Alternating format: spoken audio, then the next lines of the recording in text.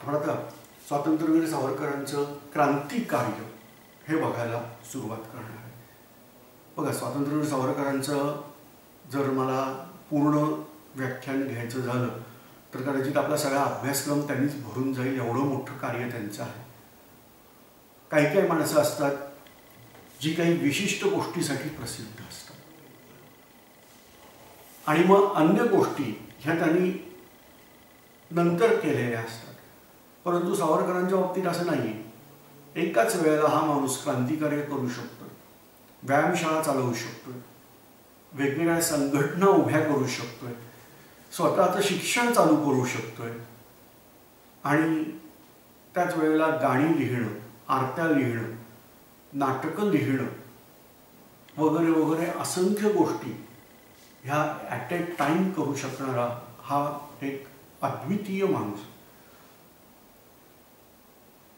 आपण ह्या सगळ्या पैलूंच्या ऐवजी आता फक्त एका पैलूवरच त्यांच्या येणार आहे ते म्हणजे क्रांतिकारक सावरकर. स्वातंत्र्यवीर सावरकरांचं थोडक्यात एक चरित्र घेतो आणि मग सुरुवात करतो. एकूण हे तीन भाऊ आहेत. मोठ्या भावाचं नाव आहे गणेश दामोदर सावरकर. यांना बाबाराव सावरकर असं म्हणायचे. दुसरा भाऊ आहे विनायक दामोदर सावरकर. हे स्वातंत्र्यवीर सावरकर म्हणून प्रसिद्ध आहे. आणि तिसऱ्या भावाचं नाव आहे नारायण दामोदर सावरकर. हे डॉक्टर होते. आणि इतिहासामध्ये ह्यांनी केलेलं कार्य हे म्हणजे जसं आपण म्हणतो ना की बॅकग्राऊंड आर्टिस्ट असतात त्या पद्धतीचे बॅकग्राऊंड आर्टिस्ट म्हणून यांनी केलेलं कार्य हे खूप मोठं आहे. पण त्याचबरोबर वेळ पडल्यावर ते पुढं पण आलेले आहे. हे घराणंच सगळं क्रांतिकारकांचे असं म्हणायला हरकत नाही. लहानपणीच स्वातंत्र्यवीर सावरकरांच्या आईवडिलांचा मृत्यू झाला. सावकारांचं असणारं घर पण हळूहळू त्यांना बऱ्याच आर्थिक समस्येला तोंड द्यावी लागले. हे समस्त सावरकर बंधू खूप हुशार होते बुद्धिमान होते. मोठे बंधू गणेश दामोदर सावरकर यांचा योगाभ्यास आणि अध्यात्म ह्याच्यावर जास्ती भरोसा म्हणजे वेळ होता. जेव्हा धाकट्या भावाला मात्र भारत स्वतंत्र करण्याची इच्छा मनापासून होती. ज्या दिवशी चाफेकर बंधूंना फाशी झाली ही गोष्ट सावरकरांना कळली. त्यांनी प्रतिज्ञा घेतली की त्यांचं जे कार्य राहिलेलं आहे ते मी पुढं सुरू करणार. आणि भारत स्वतंत्र झाल्याशिवाय शांत बसणार नाही. वयवर्ष अंदाजे आठ.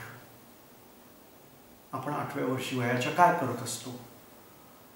ह्यानंतर सावरकरांनी आपल्या मित्रमंडळांना जमवून नाशिकमध्येच त्यांचं गाव येतं म्हणजे यांचं जन्मगाव जे आहे ते नाशिक नाशिक जिल्ह्यामध्ये भगूर नावाचं गाव आजही तिथे त्यांचा वाडा आहे. तर त्या तिथं त्यांनी मित्रमेळा ह्या नावाची संघटना सुरू केली.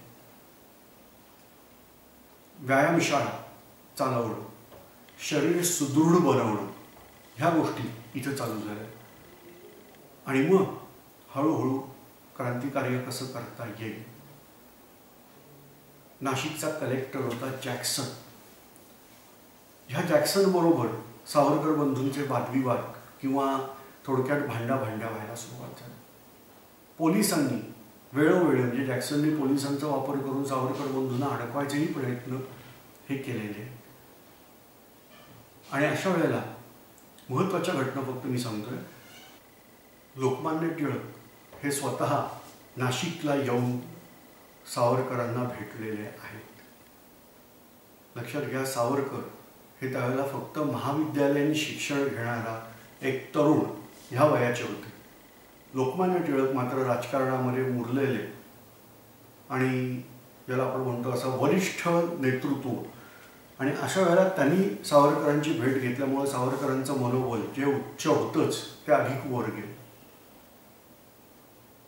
आणि नंतर ज्यावेळेला दादाभाई नौरोजींनी चतुसूत्रीची घोषणा राष्ट्रीय सभेच्या व्यासपीठावरून केली त्यावेळेला बहिष्कार हा जो काही प्रकार अपेक्षित होता तो भारतात पहिल्यांदा स्वातंत्र्यवीर सावरकरांनी करून दाखवलं पुण्यामध्ये. परदेशी मालाची होळी. परदेशी माल जाळायचा नुसता नाही त्याची अंत्ययात्रा काढली. अख्ख्या पुण्यातून ती फिरवली आणि स्मशानभूमीमध्ये नेऊन परदेशी माल चालण्यात आला. ह्या ठिकाणी नेत्यांची भाषणंसुद्धा स्मशानभूमीत झालेली आहेत. आणि मग हा सगळा प्रकार बघितला की लक्षात येतं की त्यावेळेला सावरकरांचे विचार कसे होते. पुढे त्यांना महाविद्यालयाने कारवाई केली. परंतु जी काही दंडात्मक रक्कम सांगितली ती सावरकरांनी भरली. हे सगळ्यात महत्त्वाचं आणि त्यांचं शिक्षण परत सुरू झालं. ह्याच वेळेला एक महान माणूस आहे त्यांचं नाव आहे पंडित श्यामजी कृष्ण वर्मा. हे मूळचे गुजरातमधले कच्छ जवळ काहीतरी मांडवी म्हणून एक गाव येतं त्याच्या जवळपास कुठेतरी त्यांचा निवास आहे. तर हे गृहस्थ. हे इंग्लंडमध्ये होते. आणि भारतीय मंडळी इंग्लंडमध्ये जर शिकायला आली तर त्यांच्यासाठी त्यांनी निवासाची व्यवस्था आणि शिष्यवृत्ती हे चालू केलं होतं. शिवाजी स्कॉलरशिप ह्या नावाने त्यांनी स्कॉलरशिप चालू केली होती. स्वातंत्र्यवीर सावरकरांनी ही स्कॉलरशिपची परीक्षा दिली आणि त्याप्रमाणे त्यांचं सिलेक्शन निवड झाली परदेशी शिकण्यासाठी. अर्थात ही शिष्यवृत्ती पूर्णत पुरेशी नव्हती परंतु बरीच उपयुक्त होती. अन्य खर्चाची सोय सावरकरांनी स्वतः केली आणि सावरकर हे इंग्लंडला जायला निघाले. लक्षात घ्या ह्या वेळेला त्यांचं वय फार जास्ती नाही आहे नुकतीच विशी ओलांडलेली आहे आणि सावरकर हे इंग्लंडला निघालेले आहेत. इंग्लंडला जाताना त्यांचं लग्न झालेलं आहे. घरी लहान मुलगा आहे. आणि ह्या परिस्थितीमध्ये ते इंग्लंडला पुढचं शिक्षण म्हणजे बॅरिस्टर हे शिक्षण घेण्यासाठी ते निघाले. अर्थात हे दाखवायचं कारण खऱ्या गोष्टी वेगळ्याच होत्या. तुम्हाला जर कल्पना असेल तर त्यावेळेला युरोपमधलं वातावरण हे बिघडलेलंच होतं. ते अधिक बिघडायला सुरुवात झाली होती. जर्मनीत जसजसा बलाढ्य व्हायला लागला तसं महायुद्ध होणार ही कुणकुण सगळ्यांनाच युरोपमध्ये लागायला लागली. आमच्याकडे असा काही प्रश्नच नसतो. त्यामुळे आम्हाला माहीत नव्हतं इथे. पण युरोपमध्ये गेल्यावर मात्र ह्या गोष्टी कळतात. की तिकडं काय वातावरण होतं. आणि त्यावेळेला इंग्लंड आणि फ्रान्स ह्यांच्यात ऐक्य निर्माण होत होतं. लक्षात घ्या इंग्लंड आणि फ्रान्स हे प्रचंड वैरी होते एकमेकांचे. शतकानुशतकं यांनी आपलं वैर जोपासलं. आपण बघितलं होतं याच्या आधीच्या व्याख्यानांमध्ये सुद्धा की इंग्लंडमध्ये जर भांड भांड्या चालू झाल्या त्यांच्या तर त्याचे पडसाद म्हणून भारतामध्ये इंग्लिश आणि फ्रेंच यांच्यामध्ये युद्ध सुरू आहे. तर तसाच प्रकार इथं होता. ते म्हणजे शंभर वर्षाचं इंग्लंड आणि फ्रेंचांचं युद्ध झालं होतं. कधी सप्तवार्षिक युद्ध झालं होतं. एकमेकांचे पत्ते कापणं हे त्यांचा आवडता उद्योग होता. पण अशा परिस्थितीमध्ये इंग्लंड आणि फ्रान्सनी आपली भूमिका बदलली. कारण फ्रेंचांना एक मोठा शत्रू पश्चिम पूर्व दिशेला जाणवायला लागला तो म्हणजे जर्मनी. आणि त्यापेक्षा पश्चिमेकडचा इंग्लंड हा शत्रू नाही करणं हे त्यांना आवश्यक वाटलं. इंग्लंडला सुद्धा युरोपच्या राजकारणामध्ये जर्मनीचं महत्त्व वाढून द्यायचं नव्हतं. आणि त्याप्रमाणे इंग्लंडला सुद्धा शेवटी शत्रूला मित्रामध्ये रूपांतरित करणं आवश्यक वाटलं.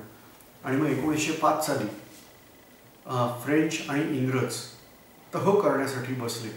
आणि त्याप्रमाणे तह करून त्यांनी मैत्रीचा नवीन अध्याय हा सुरू केला. आता गाठ जर्मनीशी होती. जर्मनीमध्ये कैसर विल्यम दुसरा यांनी आक्रमक भूमिका घ्यायला सुरुवात केली होती. आणि हर प्रकारे ब्रिटिश साम्राज्याशी झुंज घेतल्याशिवाय राहायचं नाही असं त्यांनी ठरवलं होतं. याचं महत्त्वाचं कारण असं होतं की जर्मनीचा स्वाभिमान स्वत्व हे जागरूक झाल्यापासून जर्मनीलाही वसाहती करायची इच्छा होत होती. परंतु इंग्रज आणि फ्रेंचांनी जगातल्या महत्त्वाच्या सगळ्या गोष्टी ताब्यात घेतल्या होत्या. आफ्रिका जास्तीत जास्त कब्जा इंग्लिश आणि फ्रेंचांच्या हातात. अमेरिका उत्तर अमेरिकेमध्ये इंग्रजांचा कब्जा मोठा. फ्रेंचांना नुकतंच त्यांनी हकललं होतं तिथून. दक्षिण अमेरिकेमध्ये स्पेन आणि पोर्तुगालने आपापली प्रभाव क्षेत्र निर्माण करून ठेवली होती. चीन ब्रिटिश चीनमध्ये पण घुसतातच आहे भारत ब्रिटिशांनी कधीच खाऊन टाकला आहे आणि अशा वेळेला सिकंदराचं म्हणतात मरताना असं झालं होतं म्हणतात की जिंकायला जगच उरलं नाही. तसं जर्मनांचं झालं होतं की जिंकायला जगच उरलं नाही. कारण जे जग आहे जगातल्या मॅक्झिमम देशांमध्ये एकतर ब्रिटिश आहेत किंवा फ्रेंच आहेत किंवा स्पॅनिश आणि पोर्तुगीज आहेत. पण स्पॅनिश आणि पोर्तुगीजांचं जग हे मर्यादित होतं. ब्रिटिश आणि फ्रेंचांचं खूप जास्ती होतं. आणि अशा वेळेला जर वसाहती हव्या असतील तर ब्रिटिश आणि फ्रेंचांशी युद्ध खेळावंच लागेल हे जर्मनीला कळलं होतं. जर्मनीने सुद्धा मोर्चे बांधणी चालू केली होती. आणि ऑस्ट्रिया इटाली यासारखे देश तुर्कस्तान हळूहळू त्यांच्या बाजूला यायला सुरुवात झाली होती. इंग्लंडने पण मग रशियाला आपल्या बाजूला वळवून घेतलं होतं.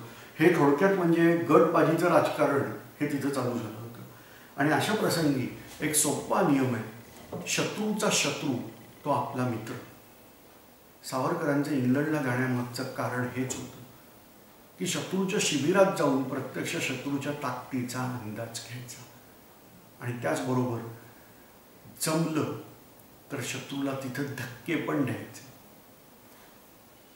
आणखीन एक महत्वाचं काम होतं ते म्हणजे शत्रूचा शत्रू तो आपला मित्र.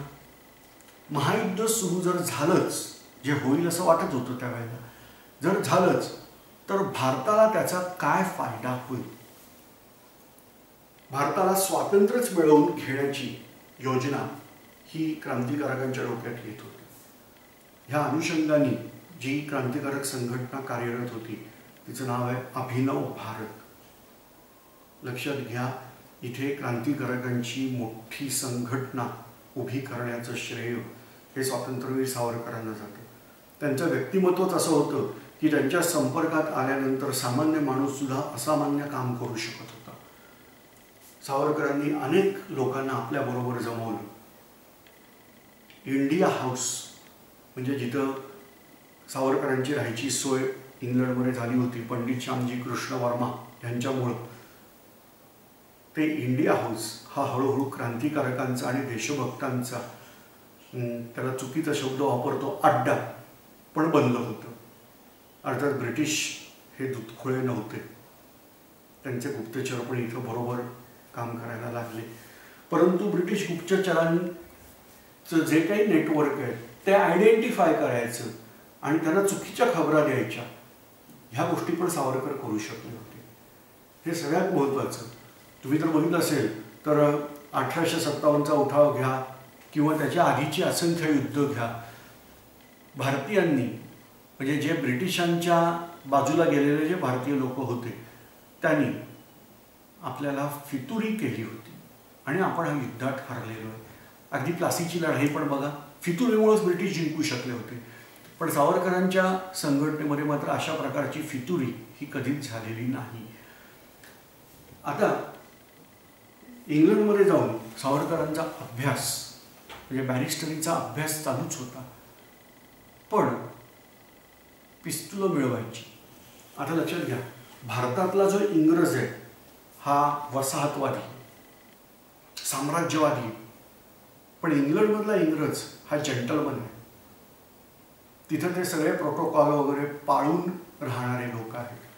आणि अशा वेळेला इंग्लंडमधल्या ह्या सगळ्या गोष्टीचा फायदा सावरकरांनी घेतला. तिथं ते बंदूक चालवायला शिकले. फक्त तेच नाही. त्यांच्या संपर्कात आलेल्या भारतीयांना सुद्धा त्यांनी हीच प्रेरणा दिली की बंदुका चालवायला शिका.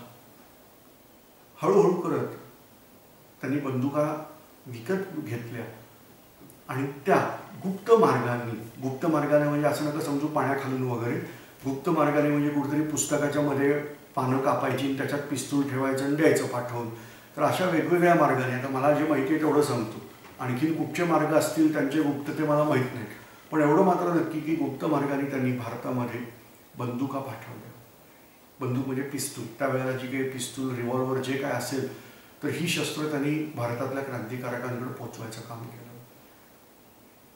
व्हाईस रॉयला मारण्याचा एक प्रयत्न बंगालमध्ये झाला होता. पण बॉम्ब फुटल्यानंतर म्हणजे बॉम्ब फुटला सुद्धा. गाडी खालती बॉम्ब लावला इंजिन पास झाल्यावर फुटला पण गाडीची काही हानी झाली नव्हती. व्हाईसरॉय तसाचा तसा जिवंत होता. मग आपल्याला अधिक क्षमतेचे बॉम्ब बनवणं आवश्यक आहे. आणि त्यासाठी बॉम्बचं तंत्रज्ञान मिळवण्याचा प्रयत्न सावरकरांनी केला. मी घटना सांगतोय नीट समजून घ्या. रशियन क्रांतिकारक त्यावेळेला होते. रशियामध्ये अजूनही कम्युनिस्टांचं राज्य आलेलं नाहीये.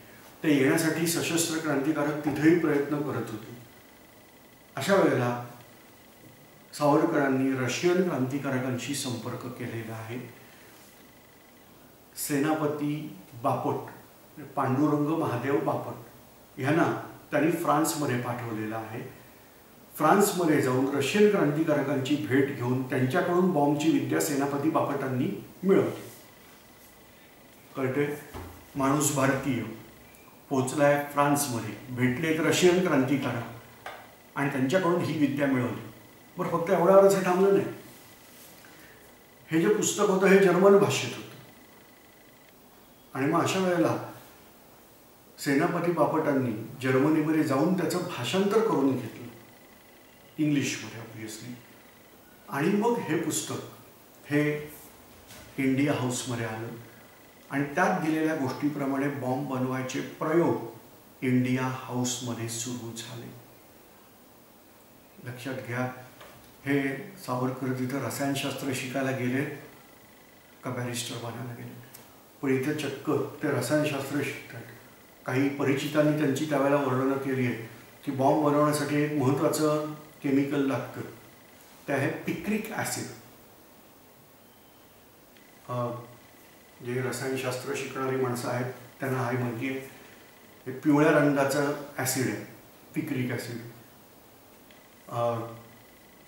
for example two four six tri असं याचं नाव हे पिवळ्या रंगाचं केमिकल आहे.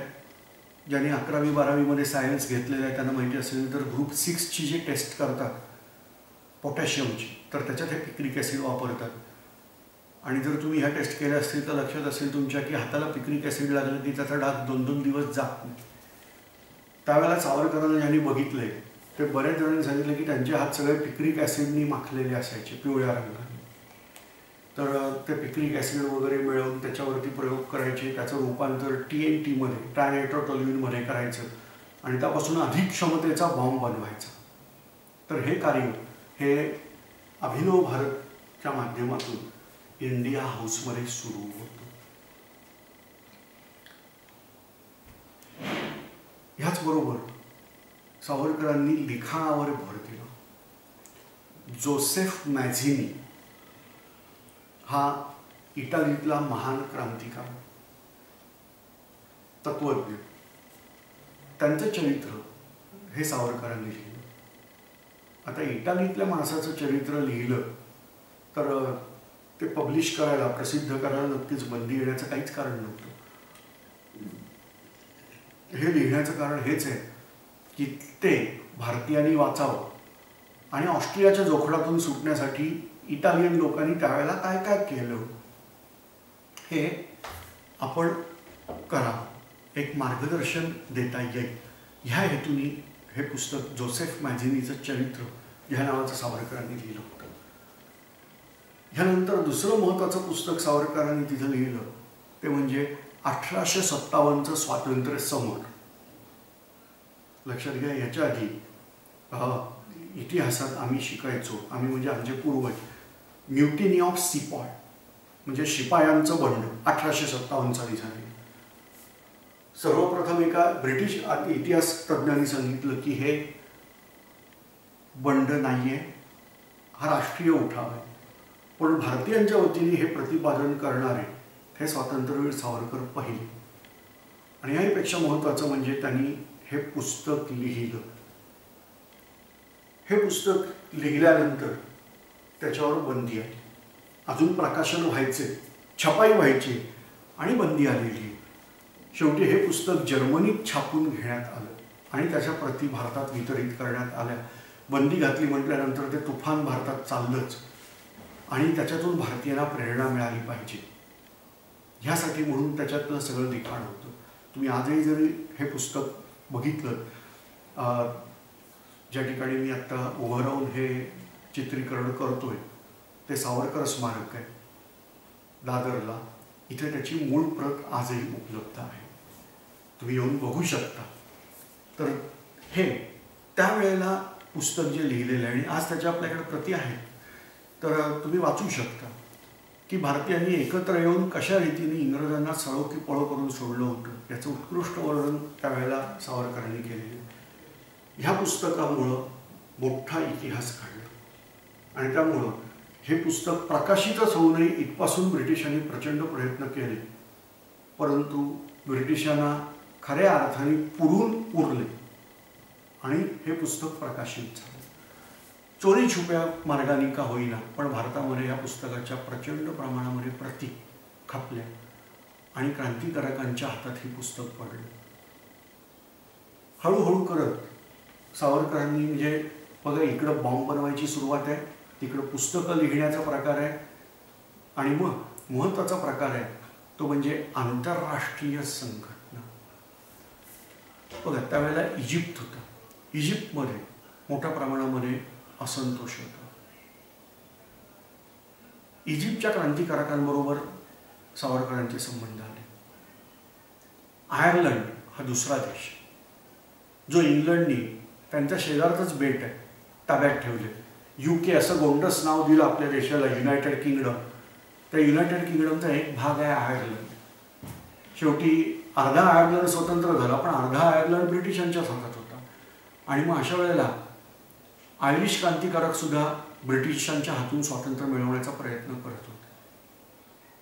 आयरिश क्रांतिकारक सहभागी झाले. चीनमध्ये सुद्धा अशा प्रकारचं काही क्रांतिकार्याचे प्रयत्न चाललेले होते. हेही सहभागी झाले. आणि अशा पद्धतीमध्ये एक आंतरराष्ट्रीय क्रांतिकारकांची संघटना उभारण्याचं श्रेय हे सावरकरांकडे जातं. ह्याचा हेतू होता की आपली ताकद देशांमध्ये आपापल्या देशात वाढवत राहायचं. आणि जसं महायुद्ध सुरू होईल तसा एकदम या सगळ्या देशांमध्ये उठाव करायचा. म्हणजे इंग्लंड हा महायुद्धामध्ये अडचणीत सापडेल. आणि ह्या नात्यांनी शत्रूचा शत्रू तो आपला मित्र या नात्यांनी सावरकरांनी जर्मनीबरोबर मैत्रीचे संबंध प्रस्थापित केलेले होते. जर्मनीमध्ये स्टुटगार्ड या ठिकाणी एक आंतरराष्ट्रीय परिषद भरली होती. तिथं अभिनव भारतच्याच मॅडम कामा ह्या जाऊन पोहोचल्या. आणि सावरकरांच्याच प्रेरणेतून तयार केलेला भारताचा पहिला राष्ट्रध्वज ह्या ठिकाणी फडकवण्यात आला. तुम्ही बघा ह्या माणसाने युरोपमध्ये जाऊन काय काय कार्य केले आणि हे सगळे इंग्लंडमध्ये राहून. परंतु कधी कधी गडबड होते. क्रांतिकार्य खरं तर करायचं ठरवलं होतं सगळं. ते युद्ध सुरू झालं. एकोणीसशे पाचपासून युद्ध होईल होईल असं वाटत होतं. एकोणीसशे आठ साल उजाडून गेलं तरीही युद्ध होत नाही नुसतंच वातावरण स्फोटक आहे. प्रत्यक्ष महायुद्ध काही सुरू झालेलं नाही. आणि मग काही क्रांतिकारकांना धीर धरता आला नाही. काही घटना ह्या उलट्या सुलट्या झाल्या. आणि त्याच्यामधून महाराष्ट्रामध्ये काही प्रमाणात मोठं क्रांतिकारी झालं. खरं तर ठरलं होतं की आधी काही करायचं नाही पण करण्यात आलं. याच्यामध्ये बाबाराव सावरकरांना अटक करणं आणि त्यांना अंदमानला पंचवीस वर्षाची काळ्या पाण्याची शिक्षा भोगायला पाठवणं ही एक महत्वाची घटना होती. खरं तर बाबाराव सावरकरांना अटक करण्याचं प्रयोजन ब्रिटिशांना नीट असं देता आलं नव्हतं. परंतु किंग्सफोर्ड जे आपण याच्या आधीच्या व्याख्यानामध्ये बघितलं होतं ते किंग्सफोर्ड नावाचा ब्रिटिश अधिकारी होता. याची हत्या खुदिराम बोस आणि प्रफुल्ल कुमार चाकी यांनी केली होती. बॉम्ब फेकून केली होती. आणि ह्यावेळेला बॉम्ब फुटला होता. मोठ्या ताकदीने फुटला होता. किंग्सफोर्ड नाही मारला गेला. पण क्रांतिकारकांकडे बॉम्ब आले कुठून? शोध घ्यायला सुरुवात झाली. आणि ह्याचे धागेदोरे कारण आपल्याला आठवत असेल तर मी घटनेचं वर्णन केलं होतं सांगितलं होतं की प्रफुल्ल कुमार चाकी यांनी आत्महत्या केली होती. परंतु खुदिराम बोस मात्र ब्रिटिशांच्या हातात जिवंत सापडले होते. आणि मग ज्या चौकशीतून जे काही सत्य आलं होतं समोर त्याप्रमाणे उत्तर प्रदेशमध्ये अलीपूर नावाचं ठिकाण इथे बॉम्ब बनवायचा कारखानाच चालू झाला होता. व या बॉम्बला तंत्रज्ञान दिलं कुठून? आणि त्याचे धागेदोरे येऊन पोचले नाशिक. बाबाराव सावरकर. जॅक्सन हा बाबारावांना पाण्यातच बघत होता. आणि अनायसे ह्या गोष्टी झाल्या. आणि मग बाबारावांवरती निश्चित असे आरोप देता येत नव्हते पुरावे नसल्यामुळं. परंतु एक क्रांतिकारक कविता प्रसिद्ध केली. ह्या आरोपाखाली त्यांना पंचवीस वर्ष तुरुंगवासाची शिक्षा. जॅक्सननी बाबारावांचं खूप अपमान करून नाशिकमधून धेंड वगैरे काढले. हा प्रकार बघितल्यावर क्रांतिकारकांचं डोकं ठिकाणावर राहणं शक्य नव्हतं. क्रांतिकारक सामान्य माणसाला सुद्धा राग येणारी गोष्ट होती. आणि अशा वेळेला जरी शांत राहणं आवश्यक असलं तरी काही परिस्थितीत माणसं शांत राहू शकत नाही अनंत कान्हेरे कर्वे आणि देशपांडे या क्रांतिकारकांनी हे कॉलेजमध्ये जाणारे तरुण आहेत लक्षात घ्या. यांनी जॅक्सनलाच गोळ्या घालून मारून टाकला. ह्यानंतर पकडापकडी चालू झाली. जे क्रांतिकारक पकडलेले आहेत त्यांच्यावर आनंदित अत्याचार वगैरे वगैरे झाले. आणि हे सगळं करण्यामागे महत्त्वाची व्यक्ती होती ज्या व्यक्तीला क्रांतिकारक काहीच करू शकत नव्हते. असं त्या व्यक्तीला वाटत होतं ती व्यक्ती होती कर्झन वाहिली हे इंग्लंडमध्ये होते. आणि इंग्लंडमधून सगळी सूत्र हलवत होते. आणि अशा वेळेला अभिनव भारतच्या मदनलाल धिंगरा ह्या तरुणाने कर्झन वाहिलीलाच गोळ्या घालून मारला. हा लक्षात घ्या हा लॉर्ड कर्झन नाही आहे हा कर्झन वाहिली आहे पण याला गोळ्या घालून मारलं. आणि ही हत्या इंग्लंडमध्ये झाली. इथं लक्षात घ्या ब्रिटिशांना तेवढा मोठा धक्का बसला असेल की भारतातले इंग्रज सुरक्षित नाही तिथपर्यंत समजू शकतो. पण इंग्रज आता अधिकारी जे आहेत हे इंग्लंडमध्ये सुरक्षित नाही. इंग्लंडमध्ये त्यांची हत्या होते भर समारंभामध्ये. म्हणजे काय? सावरकरांनी ह्यानंतर मदनलाल धिंगराचं कौतुक केलेलं आहे. हे मित्र होते. मदनलाल धिंगरा हे इंडिया हाऊसमध्येच राहणारे होते. त्यांचे दोन बंधू खूप हुशार होते.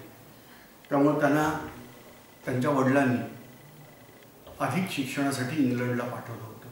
पण मदनलाल मात्र तसा नसल्यामुळं मदनलालला पाठवलं नव्हतं.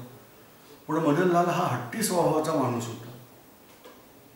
त्यांनी स्वतः बोटीवरती नोकरी करून इंग्लंड गाठलं आणि इंग्लंडमध्ये शिक्षणाला सुरुवात झाली. आणि त्यांचा संबंध सावरकरांबरोबर आला. ते अभिनव भारतचे सक्रिय कार्यकर्ते झाले. आणि मदनलाल धिंगरानी बंदूक वगैरे चालवायला शिकले आणि कर्जन वाढीची हत्या केली. ही घटना खूप महत्त्वाची होती.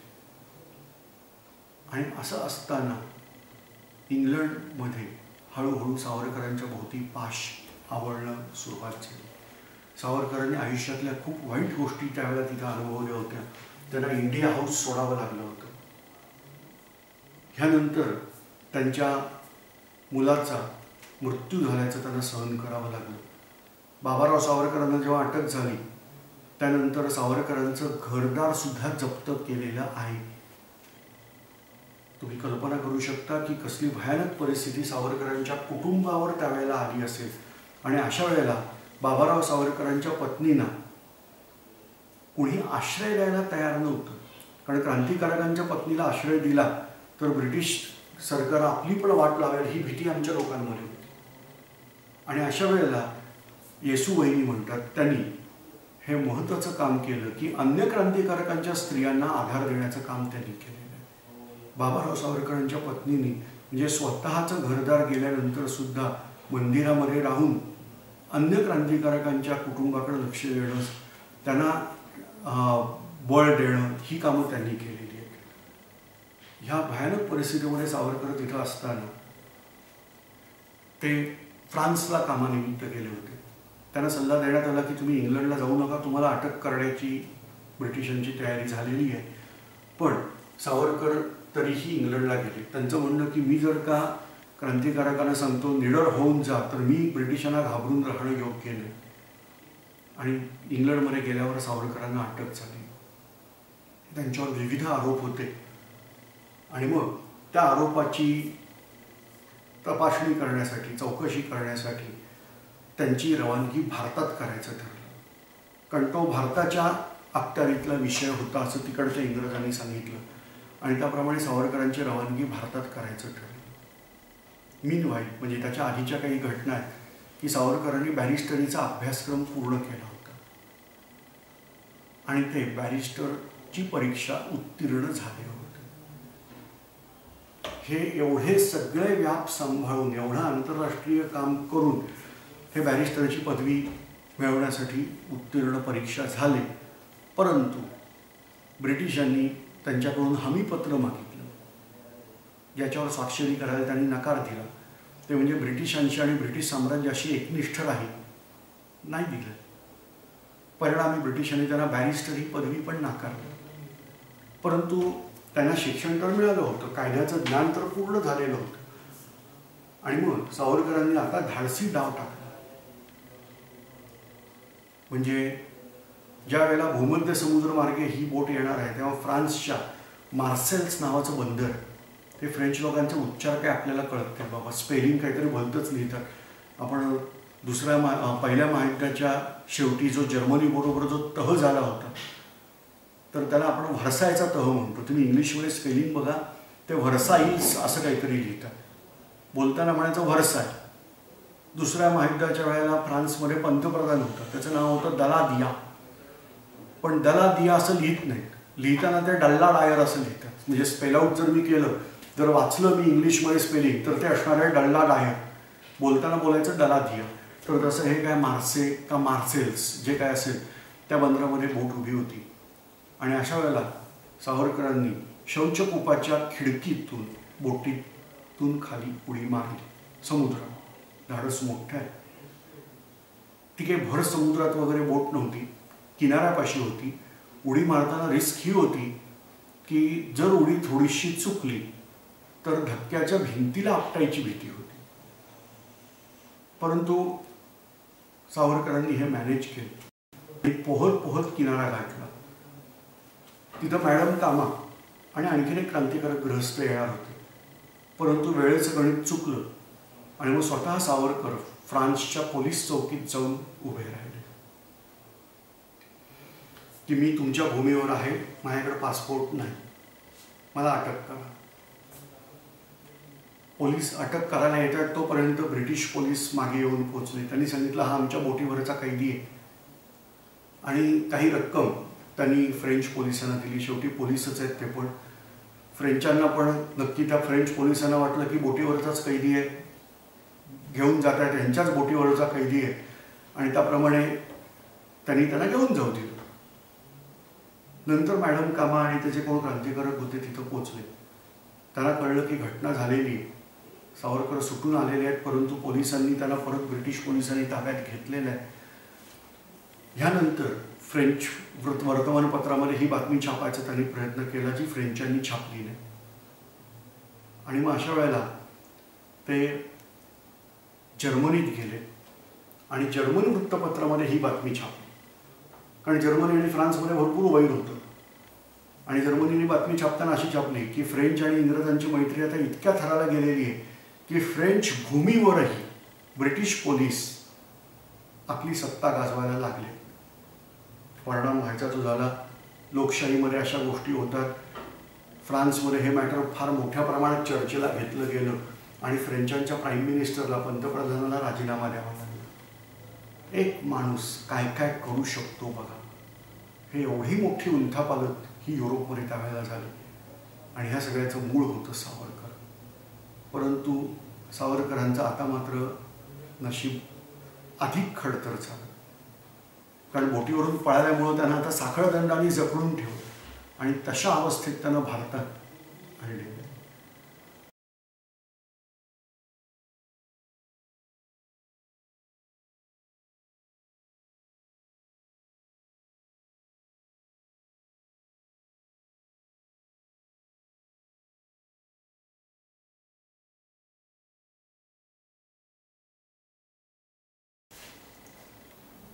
याच्या आधीच्या व्याख्यानामध्ये एक भाग बघितला होता ज्याच्यामध्ये स्वातंत्र्यवीर सावरकर आणि त्यांचे अनुयायी यांच्याद्वारे केलं गेलेलं क्रांतिकार्य. विशेषत इंग्लंडमध्ये जाऊन सावरकरांनी केलेलं क्रांतिकार्य हे आपण तिथं बघितलं होतं. इंग्लंडमधून स्वातंत्र्यवीर सावरकरांना अटक करण्यात आली. आणि भारतात त्यांना पाठवण्यात येत होतं. परंतु ह्या प्रवासामध्ये त्यांनी पळून जायचा प्रयत्न केला आणि जो अर्थातच त्यांच्या दृष्टीने पूर्णत यशस्वी परंतु लौकिक अर्थाने अयशस्वी असा होता. याचं कारण असं आहे की सावरकर बोटीवरून पळाले आणि फ्रेंच पोलीस स्टेशनमध्ये जाऊन उभे राहिले. की माझ्याकडं फ्रान्सवरती येण्यासाठी कुठची वाईट कागदपत्र नाही आहेत आणि मी फ्रान्समध्ये आलेलो त्यांची इच्छा होती त्याप्रमाणे फ्रेंच पोलिसांनी त्यांना अटक करणं.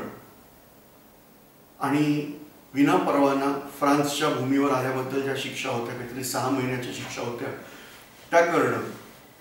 असं डाव होता. परंतु ब्रिटिश पोलिसांनी हा आमचा कैदी आहे असं सांगून आणि काही रक्कम दिली असं म्हणतात फ्रेंच पोलिसांना. आणि तिथून पलायन सॉरी तिथून सावरकरांना ताब्यात घेण्यात त्यांना यश आलं.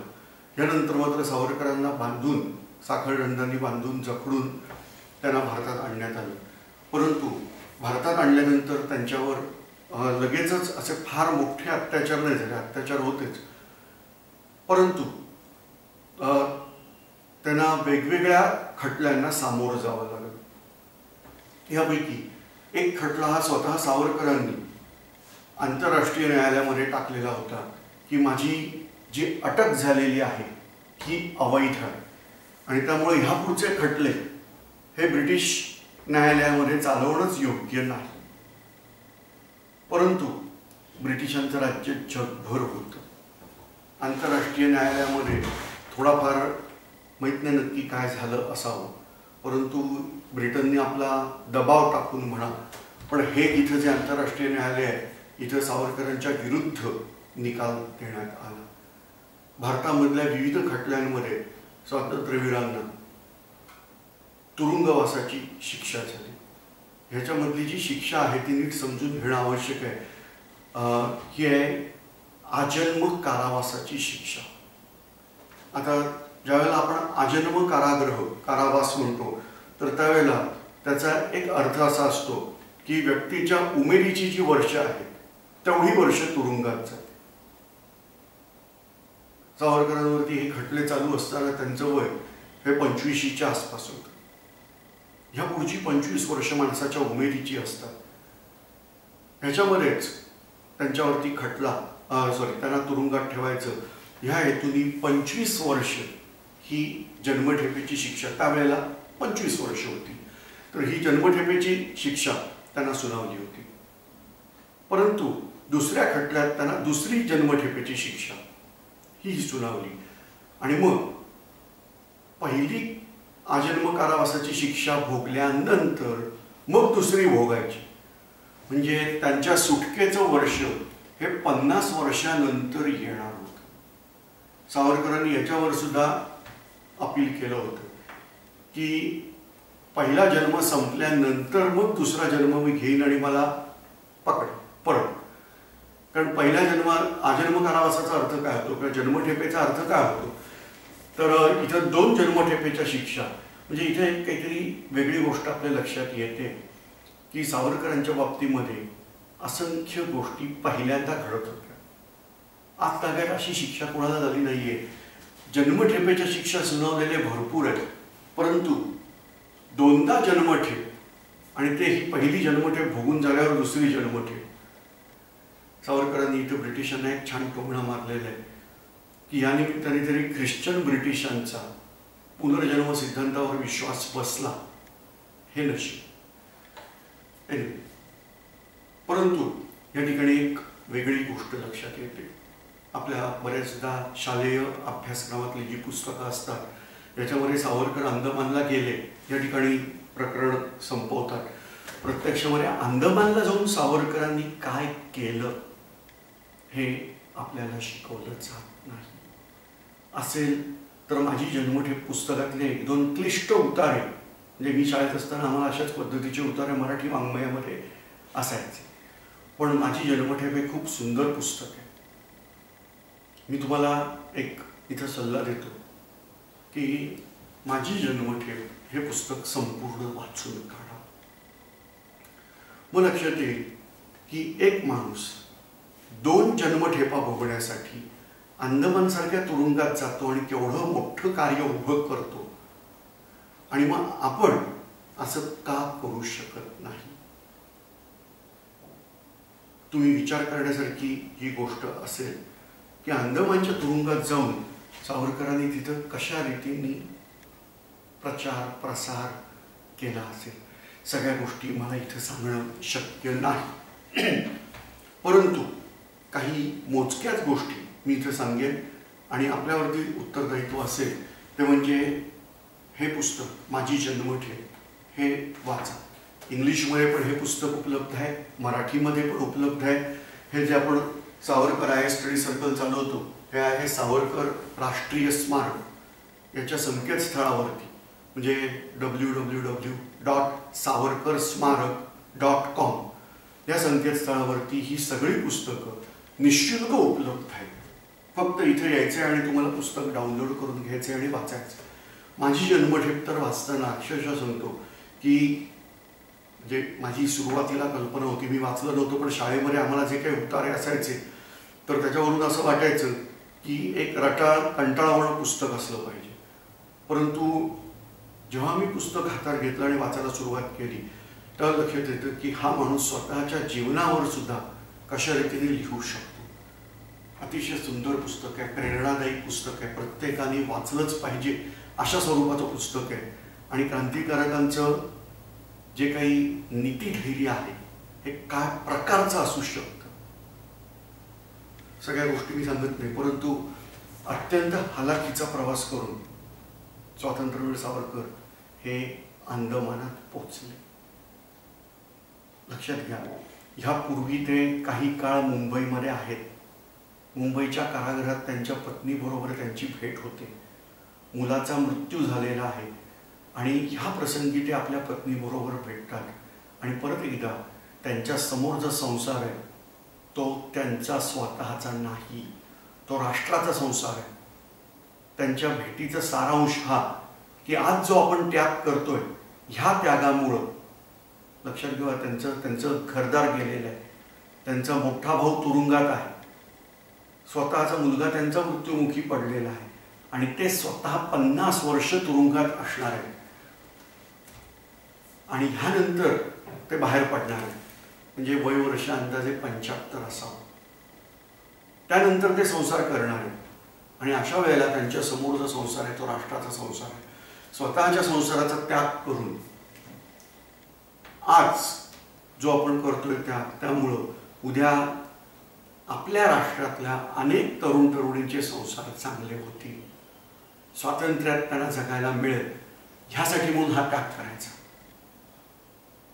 हे त्यांचे उद्गार आहे आणि मग ह्या अशा सगळ्या कौटुंबिक गोष्टीनंतर ते त्याच ठिकाणी जायला निघाले जिथं त्यांचे मोठे बंधू बाबाराव सावरकर आश्रम होते. तिथं गेल्यानंतर जो तुरुंगाचा प्रमुख अधीक्षक असतो. तर त्याला बारी साहेब असं म्हणतात. त्या बारी साहेबासमोर त्यानं नेलं बारी साहेबाला बॅरिस्टर हा कैदी समोर असल्यामुळं स्वतःचं महत्त्व वाढलं होतं.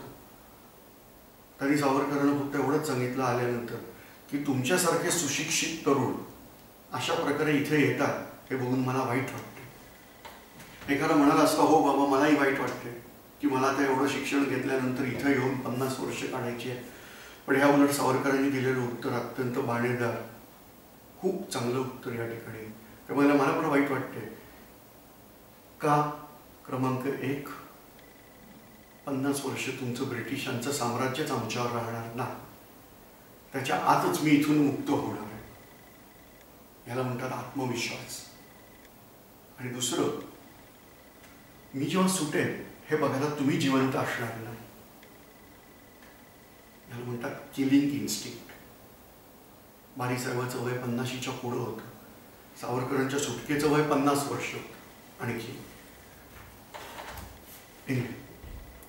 पण सावरकर हे असं का म्हणू शकत होते? ते द्रष्टे होते हे नंतरच्या काळात लोक म्हणायला लागले. पण त्यावेळेला हे असं का म्हणू शकत होते? कोणता दुर्दम्य आत्मविश्वास त्यांच्यापाशी होता? की वयाच्या या पंचवीशीच्या आसपास ते सांगतात की पन्नास वर्ष तुमचं साम्राज्य भारतावर राहणार नाही. त्याच्या आतच आम्ही मोकळे होणार.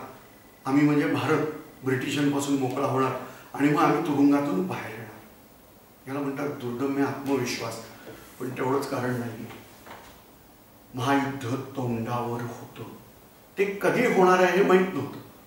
एकोणीसशे पाच पासून जवळजवळ हे निश्चित झालं होतं की जग हे ज्वालामुखीच्या तोंडावर आहे. आणि एकोणीसशे पाचमध्ये साल जरी माहीत नसलं तरी लवकरच महायुद्ध होणार आहे. सावरकर आत होते. बाबाराव सावरकर म्हणजे मोठे बंधू आत होते. परंतु सावरकरांचे अनेक सहकारी हे बाहेर होते. लाला हरदया रासबिहारी बोस यासारखे कित्येक क्रांतिकारक हे बाहेर होते. रासबिहारी बोस हा भारतातला सगळ्यात यशस्वी क्रांतिकारक पुरुष. त्यांच्याबद्दल आपण सविस्तर माहिती घ्यायचीच आहे. लाला हरदया यांनी जे सावरकरांना जे सावरकरांना अपेक्षित कार्य आहे ते लाला हरदयांनी पुढं नेले. लाला हरदया हे अभिनव भारतचे सदस्य होते. परंतु इंग्लंडमधून ते अमेरिकेत जाऊन पोहोचले. आणि त्यावेळेला अमेरिकेमध्ये त्यांनी एक चळवळ उभारली. तिचं नाव आहे गदर चळवळ. आणि ह्या चळवळी अंतर्गत भारत स्वतंत्र करण्याचा एक मोठा प्रयत्न जो स्वातंत्र्यवीर सावरकरांनी सांगितलेला मार्ग होता त्या मार्गाप्रमाणे करण्यात आला होता. परंतु ब्रिटिशांनी आपल्या कूटनीतीच्या चातुर्याने फितुरीचा योग्य तो वापर जो फितुरीचा शापच आपल्या लोकांना लागलेला आहे दुर्दैवाने आजही आपल्या देशातली अशी काही माणसं आहेत की जी आपल्याच लोकांच्या विरोधात बोलणारे आहेत. तर त्यावेळेला पण असे नालायक लोक होते. आणि त्यांच्यामुळं हा डाव फसला. अन्यथा भारताला स्वातंत्र्य त्यावेळेलाच मिळालं असतं. मी प्लॅनिंग नीट सांगतोय लाला हरदया. किंवा हे जे सगळ्यांचं प्लॅन होता ते म्हणजे कल्पना करा की शत्रूचा शत्रू तो आपला मित्र. ही संकल्पना जर पटली असेल तर होणार. सावरकरांचं एक छान वाक्य आहे. ते म्हणजे रणाविड स्वातंत्र्य कोणाचं मिळाले स्वातंत्र्य काही कोणी देत नाही. ते मिळवायचं असतं. आणि ते स्वातंत्र्य हे रणांगणाशिवाय मिळत नाही. शिवाजी महाराजांनी जे काही मराठ्यांचं राज्य उभं केलं ते अहिंसेच्या मार्गाने नव्हतं. ते मागून मिळवलेलं नव्हतं. तर ते लढून मग ते स्वकीय असू देत अथवा परकीय असू देत सगळ्यांबरोबर त्यांना संघर्ष हा त्यावेळेला करावा लागला. शिवाजी महाराजांचा स्वकीयांबद्दलचा दृष्टिकोन थोडासा वेगळा होता.